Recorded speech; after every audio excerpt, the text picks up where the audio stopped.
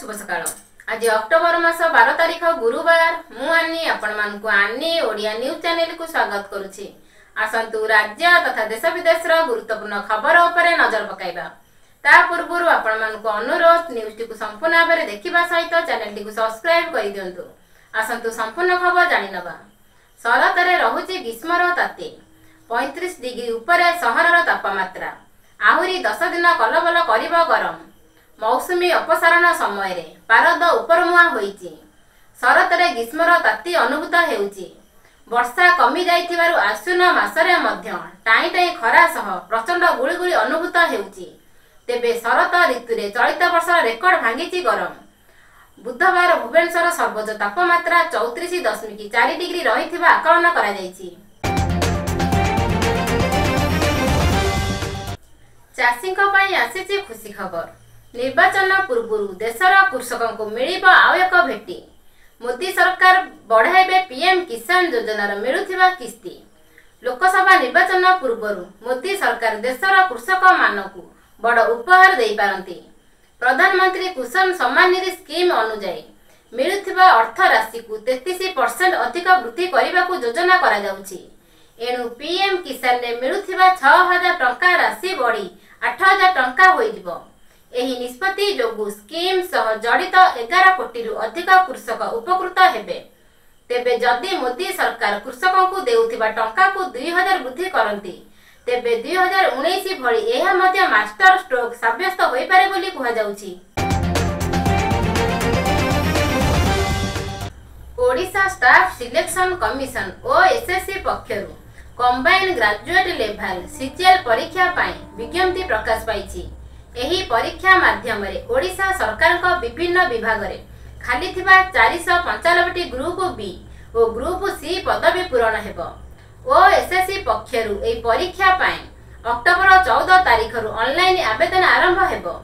ଆବେଦନର ଶେଷ ତାରିଖ ନଭେମ୍ବର ଚଉଦ ରହିଛି। ଏହି ସବୁ ପଦବୀ ପାଇଁ ଏଏସ୍ଏସ୍ସି ପକ୍ଷରୁ ପ୍ରଥମେ ପ୍ରିଲିମିନାରୀ ପରୀକ୍ଷା କରାଯିବ।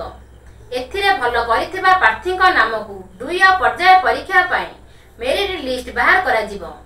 ଦୁଇ ପର୍ଯ୍ୟାୟ ପରୀକ୍ଷାରେ ଚୟନ ହୋଇଥିବା ପ୍ରାର୍ଥୀଙ୍କର ଇଣ୍ଟରଭ୍ୟୁ ଓ ସାର୍ଟିଫିକେଟ୍ ଯାଞ୍ଚ କରାଯାଇ ବିଭିନ୍ନ ପଦବୀରେ ନିଯୁକ୍ତି ଦିଆଯିବ।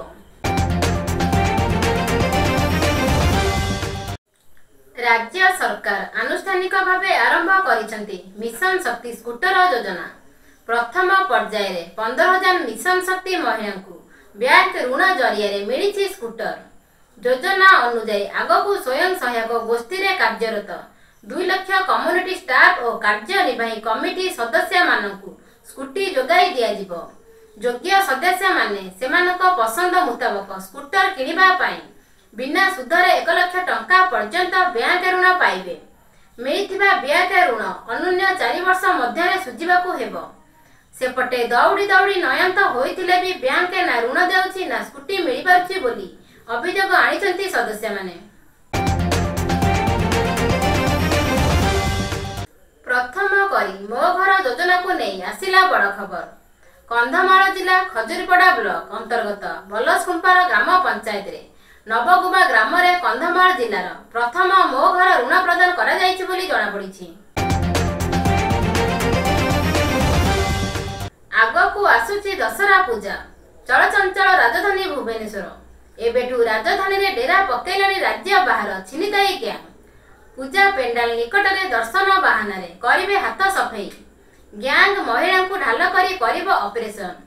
ପୂଜା ପେଣ୍ଡାଲ ଭିତରେ ହେଉ କି ବାହାରେ ମୋବାଇଲ ସୁନା ଚେନ୍ ଓ ଭ୍ୟାନିଟି ଛଡ଼ାଇବେ। ପୂର୍ବ ବର୍ଷ ପରି ଆନ୍ତଃରାଜ୍ୟ ଗ୍ୟାଙ୍ଗକୁ ନଜର ରଖିବା ପାଇଁ ଗୁଇନ୍ଦା ନେଟୱାର୍କକୁ କଡ଼ାକଡ଼ି କରିବା ସହିତ ସମସ୍ତ ଥାନାକୁ ଆଲର୍ଟ କରିଛନ୍ତି ଡିସିପି।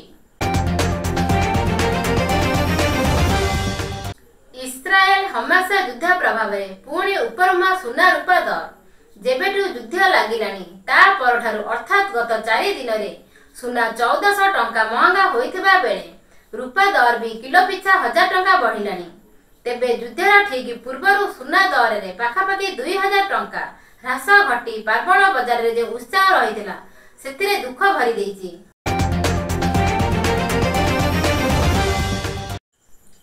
ଚର୍ଚ୍ଚିତ ବ୍ୟାଙ୍କ ମିତ୍ର ଭାରତୀ ସିଂଙ୍କୁ ଚାକିରିରୁ ନିଲମ୍ବିତ ଘଟଣା। ପଚିଶ ଦିନ ପରେ ମିଳିଲା ପୁନଃ ନିଯୁକ୍ତି। ଗତ ମାସ ଲୋୟର ପିଏମଜିରେ ବିକ୍ଷୋଭ ସମୟରେ ଫାଇଭ ଟି ସଚିବଙ୍କ ବିରୁଦ୍ଧରେ ଦେଇଥିବା ମନ୍ତବ୍ୟକୁ ନେଇ ତାଙ୍କୁ ମିଥ୍ୟା ଆରୋପରେ ପନ୍ଦର ତାରିଖ ଚାକିରିରୁ ନିଲମ୍ବିତ କରାଯାଇଥିଲା। ଏହାକୁ ନେଇ ଜିଲ୍ଲାରେ ବିଭିନ୍ନ ମହଲରେ ତୀବ୍ର ଅସନ୍ତୋଷ ପ୍ରକାଶ ପାଇଥିଲା। ଘୂର୍ଣ୍ଣିଝଡ଼ ଲିଡିଆ ମେକ୍ସିକୋ ମୁହାଁ।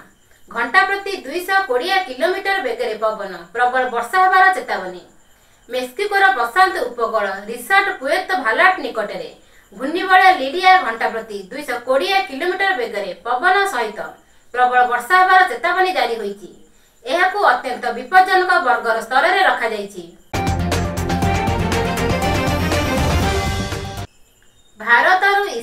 ପର୍ଯ୍ୟନ୍ତ। ସହଯୋଗୀ ରାଷ୍ଟ୍ର ଉପରେ ଆକ୍ରମଣ ପାଇଁ ବ୍ୟବହାର ହୋଇଛି ଆମେରିକା ଅସ୍ତ୍ର।